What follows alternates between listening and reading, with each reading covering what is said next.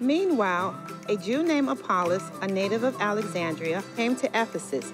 He was a learned man with a thorough knowledge of the scriptures.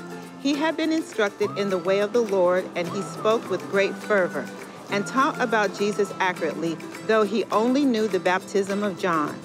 He began to speak boldly in the synagogue. When Priscilla and Aquila heard him, they invited him to their home and explained to him the way of God more adequately.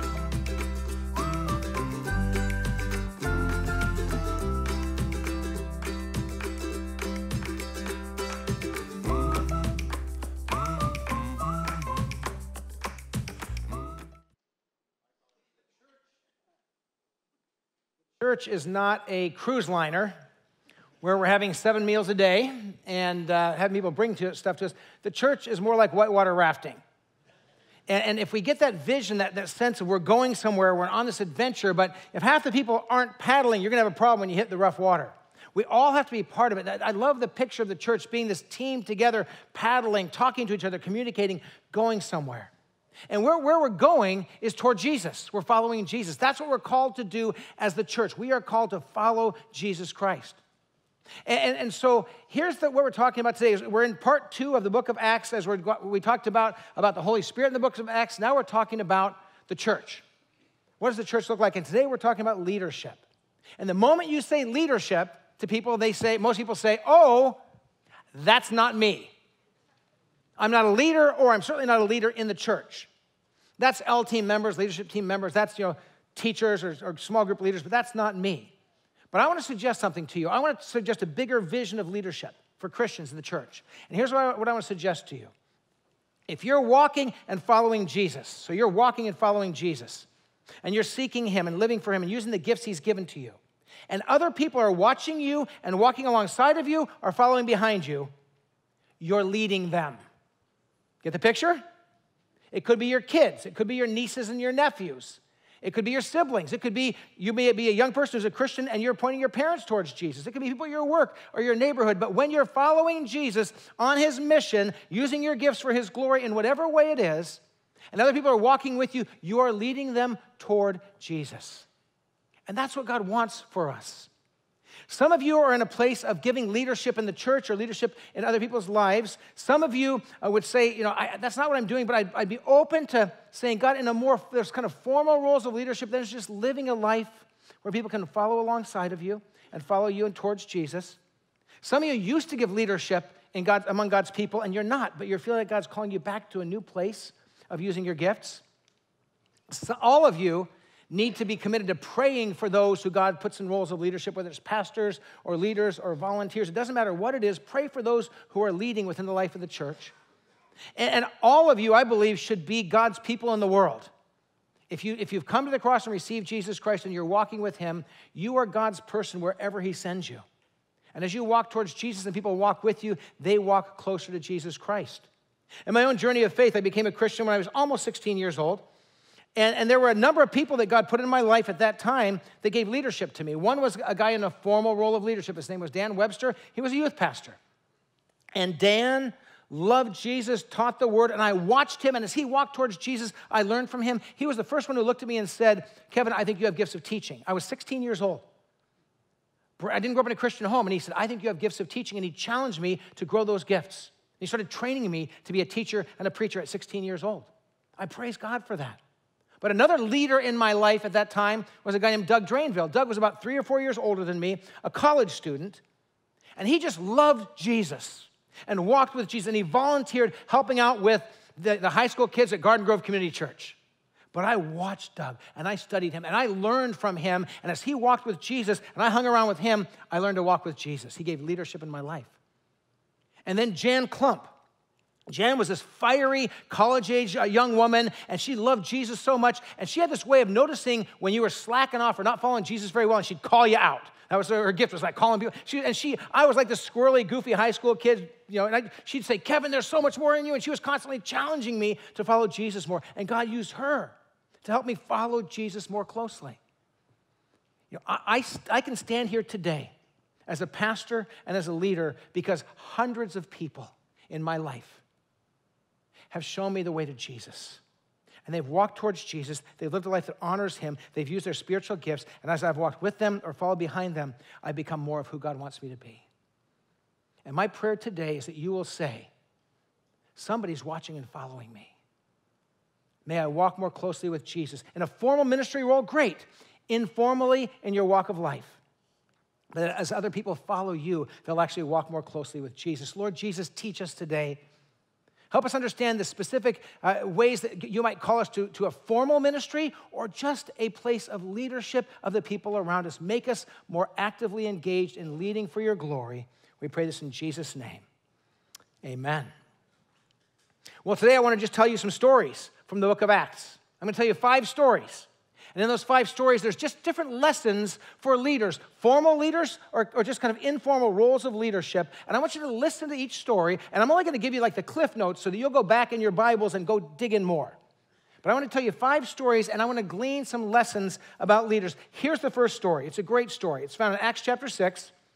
And here, we're going to learn that leaders rise up in times of conflict. And this is the leadership of the seven, these seven leaders that are called out to a new ministry.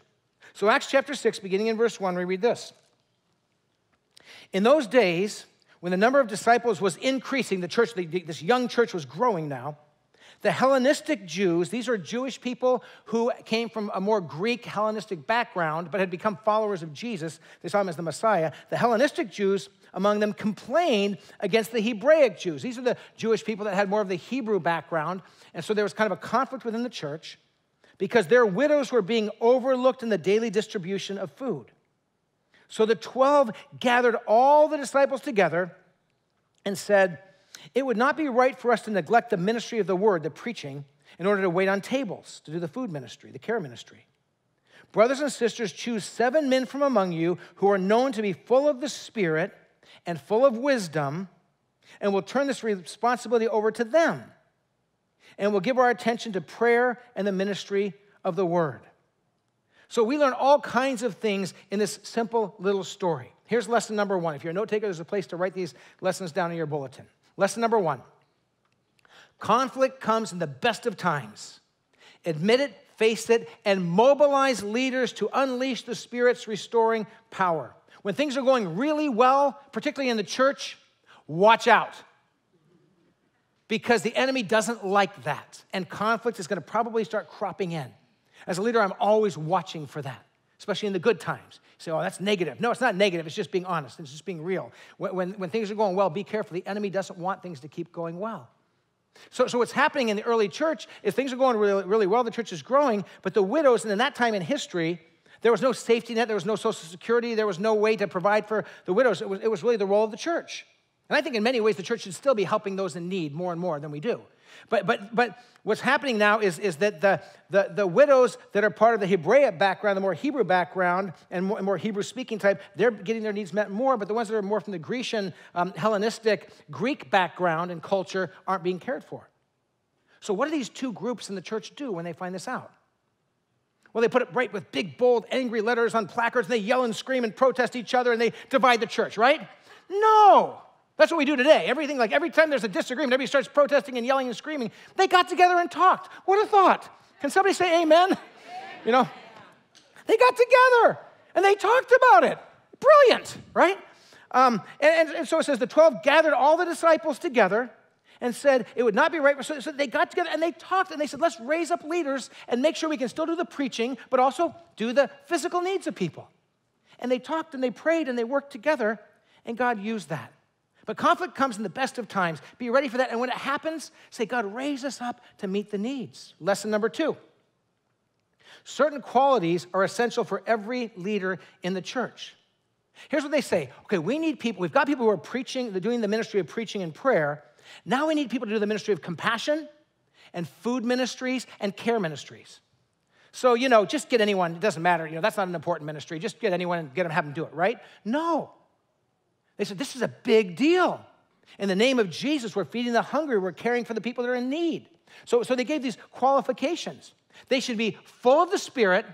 When you become a Christian, the Spirit moves into you, but they should be overflowing by walking in the presence and the power of the They're full of the Holy Spirit, full of wisdom. In other words, they know the Word of God. Our wisdom is not enough to solve the world's problems. but God's wisdom is always enough. So they're full of the Spirit to overflowing, they're full of wisdom, they know the Word of God, and they're responsible. When they say they're gonna show up, they show up. When they say they're gonna do it, they do it. They're responsible leaders. Those are the standards for, for this, this care and compassion ministry of food for the hungry, for the widows, particularly because they got, got left out in culture at that time.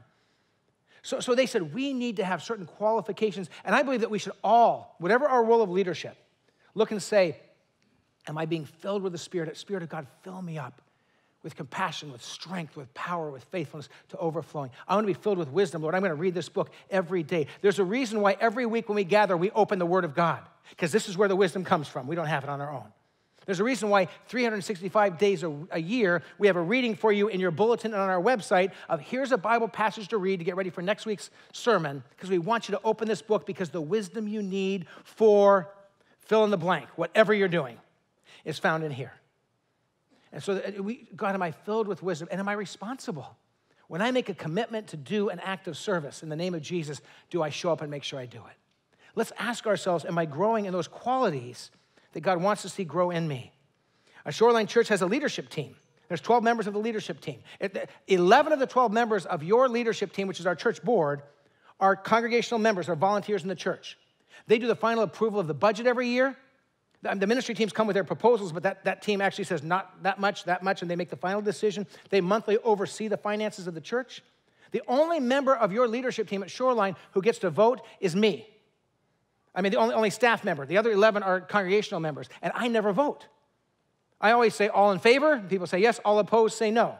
Now, if there was a tie, I could break the tie, but I'm not that stupid.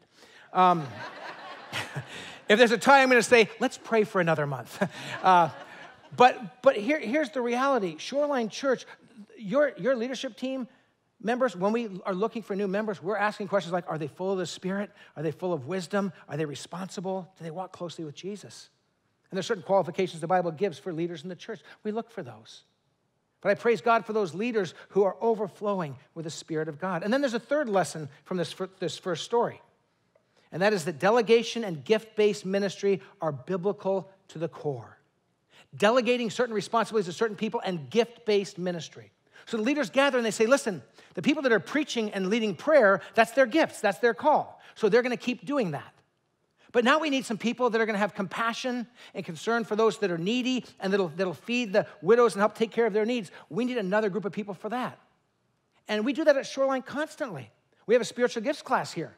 If you say, Well, I'm not sure where I should serve, we have a test that'll help you say, Oh, you have gifts of teaching and a call for teaching. Let's get you involved in teaching children or youth or adults. Oh, you have gifts of compassion. We have great care ministries, we have great community outreach ministries. And we'll help you discover your gifts and find your place because God wants us kind of fitting in the right place according to our gifting and our calling. But I believe there's a place for everyone in the church and somewhere where you can use the gifts God's given you to be a blessing here and a blessing beyond here to the world around us. So there's some lessons from the calling of the seven to that special ministry. Here's story number two.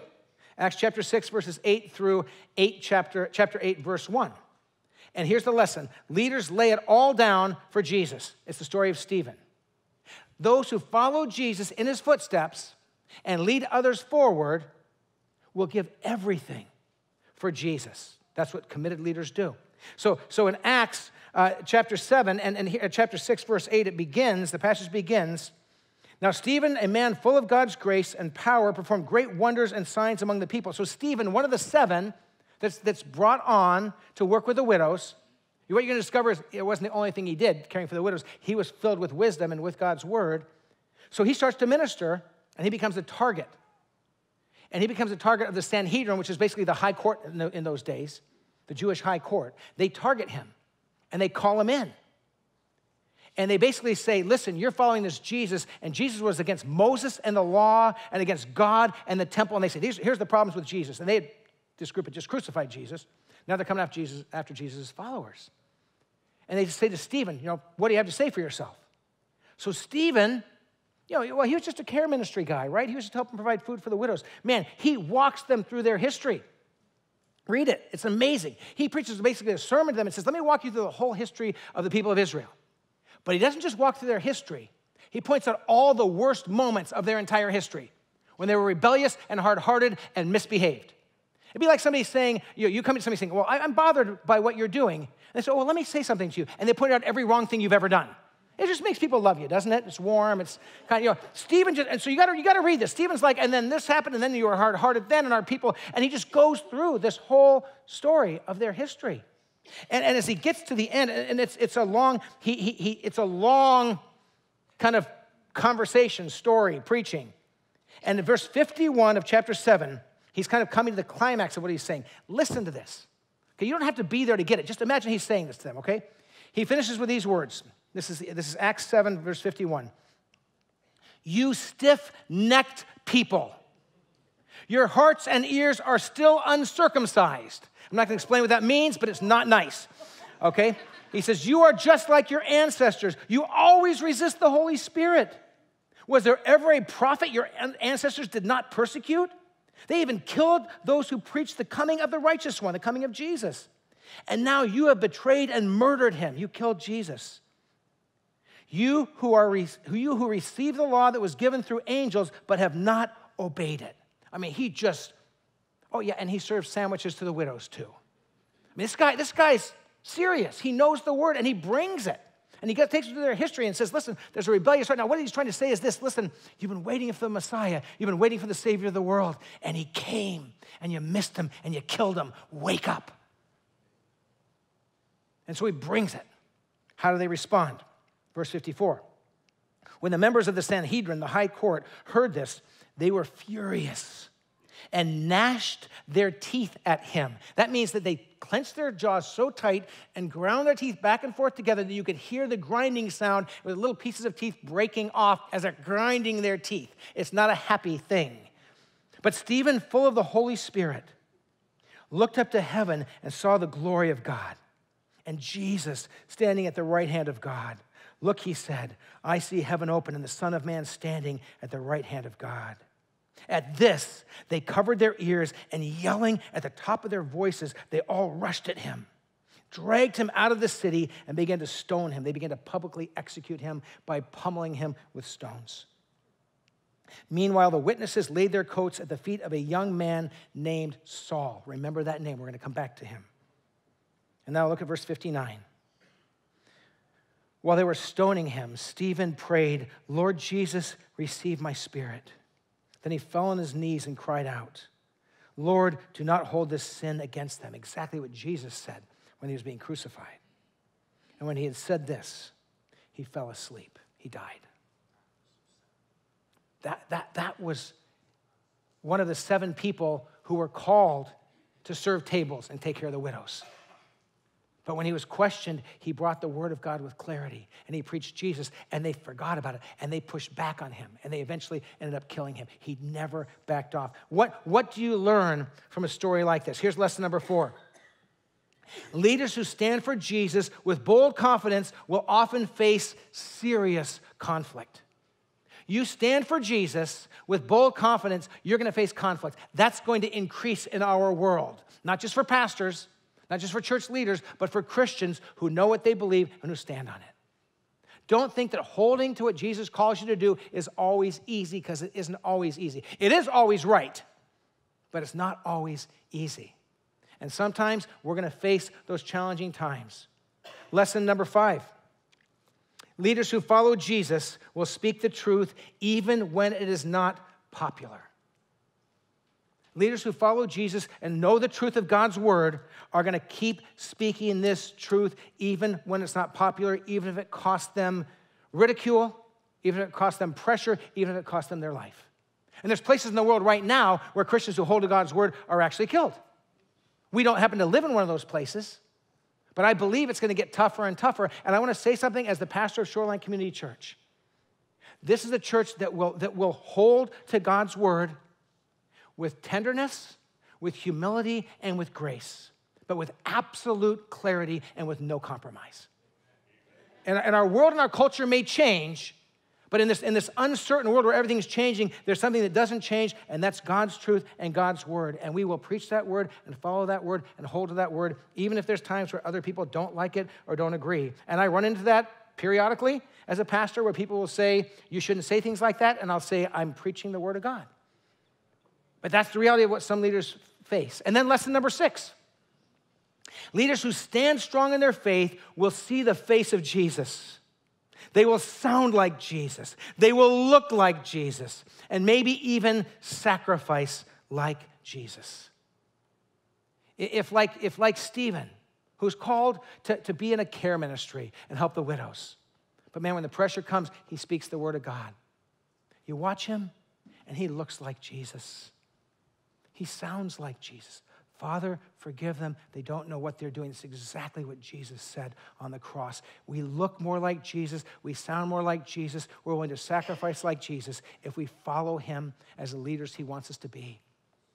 In our homes, in our neighborhoods, in our workplaces, at our schools, and at church. But not just at church, wherever God sends you.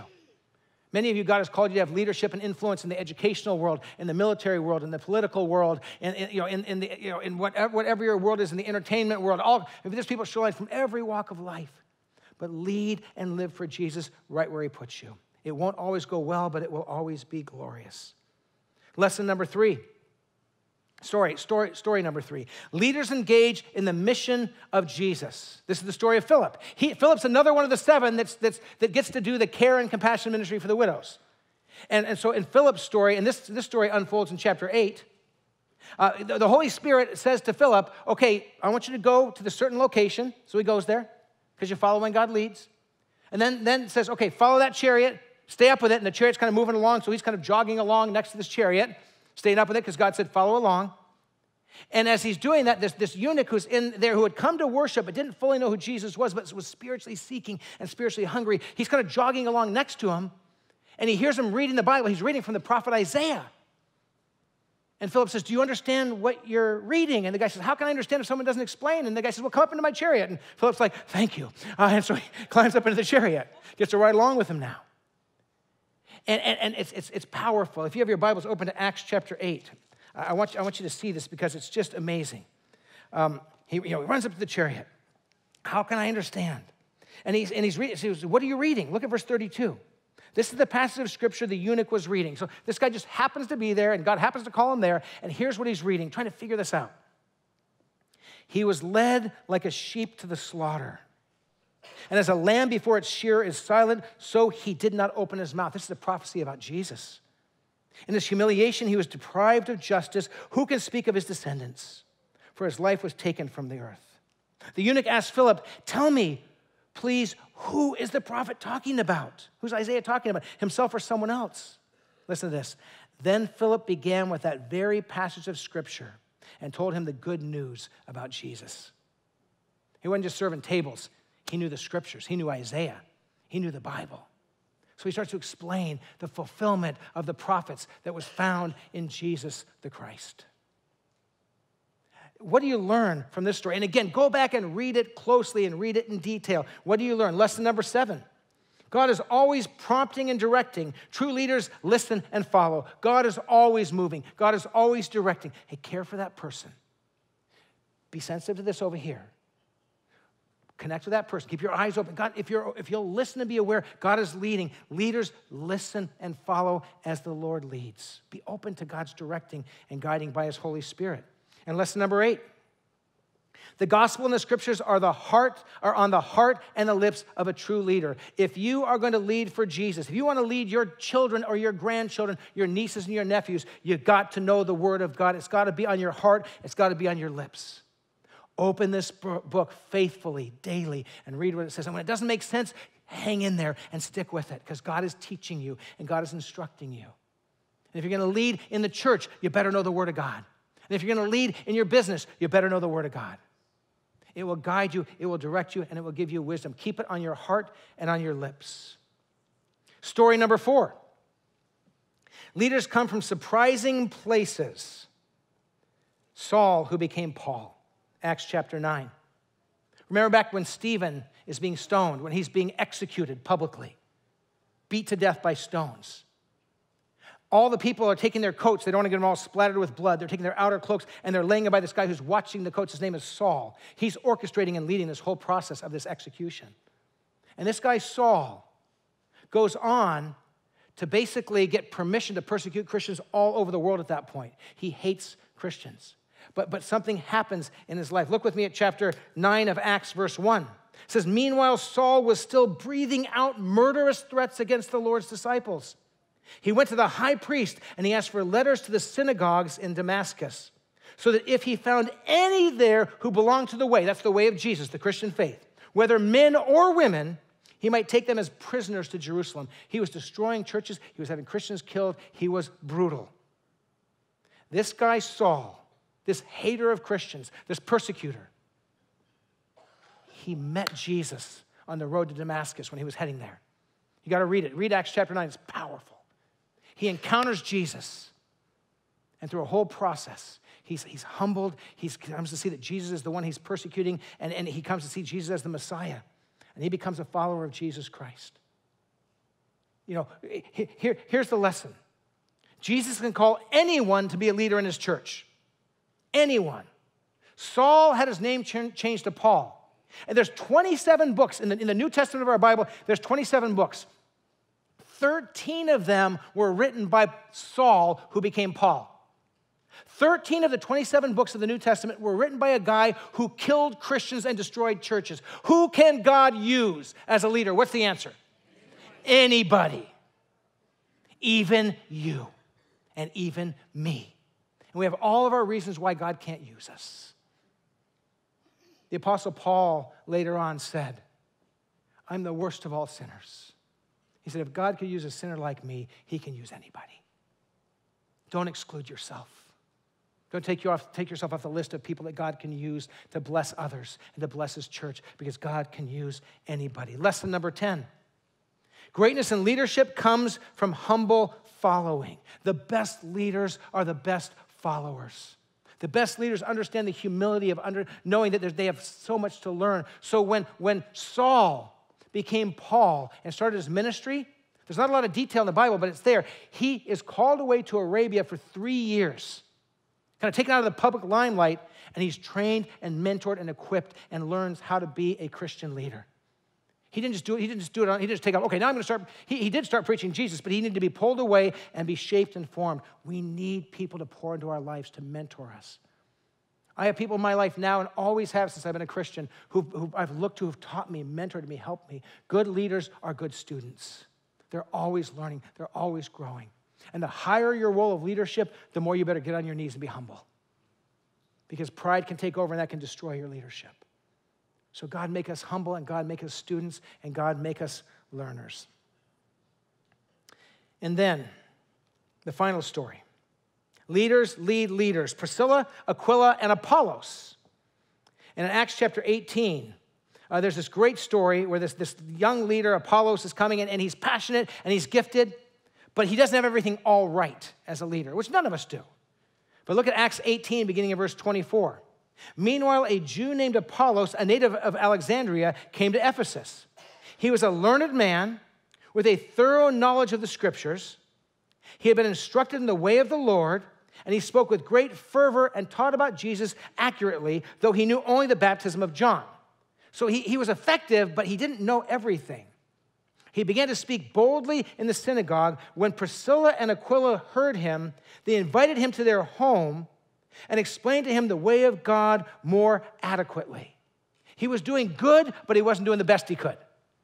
So, this husband and wife team, Priscilla and Aquila, take him and train and equip him and get him on the right track. They say, listen, you've got, you're doing good, but you've got to learn to really clear, clarify some of your understanding. There was training, there was equipping. So, two final lessons. Lesson number 11 Leaders know a lot, but they don't know everything. Someone say, Amen. Leaders know a lot, but they don't know everything. I love to preach. I've been learning, I've been growing as a preacher through the years, but almost every single Sunday, after I preach at first service, we're at second service here, but at first service, after first service, there's about four or five people that sit me down and they kind of will say, okay, you can do this better, slow down here. Get, I get excited, I get going fast sometimes. You probably don't notice that. But um, I love God's word. I get so excited and I get all revved up. But they'll say, you know, slow down here or you got to be more clear here. And almost every week, there's a couple people that will tell me how to do a better job. My wife's one of them. Pastor Dennis is one of them. Pastor Ben, Pastor Sean. Um, we've got a team of people that, that, and this week I think I had three or four things, right? Is that about right? Three or four? So this, my sermon's better now because they straightened me out.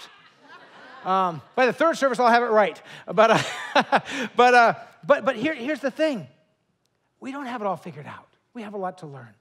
So as you lead, let other people teach and speak into your life. Ask them their opinion, ask them their perspective.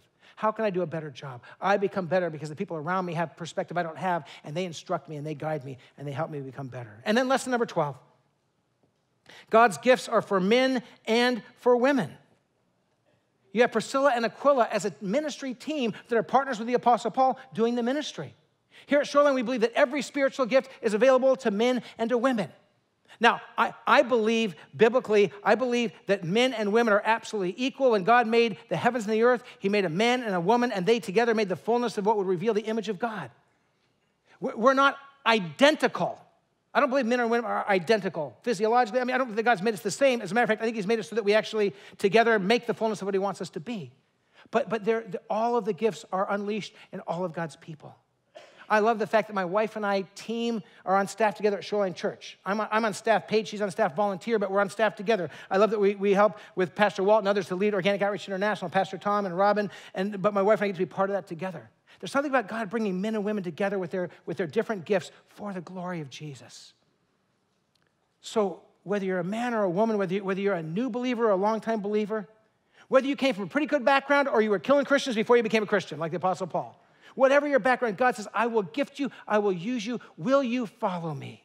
Will you let me work through you and lead through you for the glory of Jesus? Oh, Jesus, we pray today that every single one of us that has come to the cross and received your grace and received your forgiveness and been filled with your Holy Spirit, God, we pray that you would use us.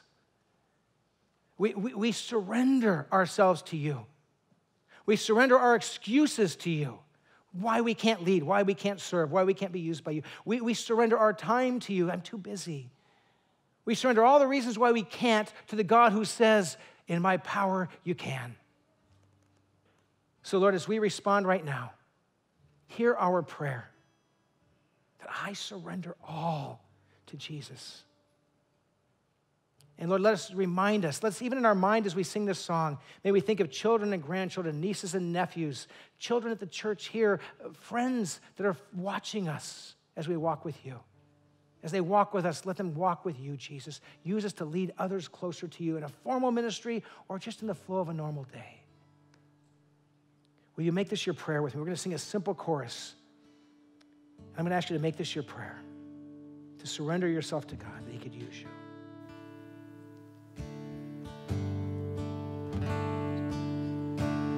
I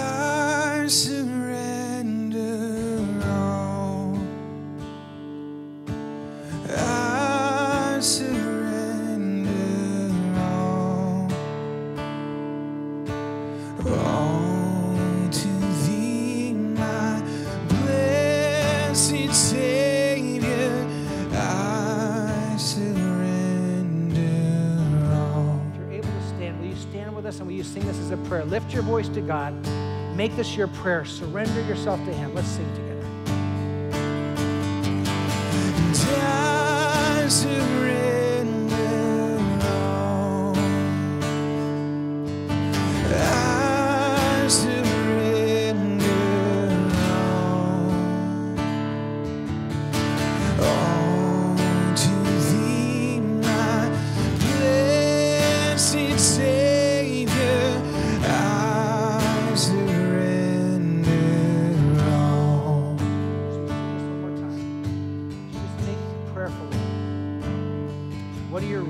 Why you can't? The Lord couldn't use me because my schedule doesn't allow it, my abilities don't allow it, my past doesn't allow it. Just let God speak to you. Think about what that, that what's in the way of you being used by God. And as you sing this, just lay it at his feet. Say, Jesus, if you can use me, I'm here. Just lay it at his feet. Let's pray this together.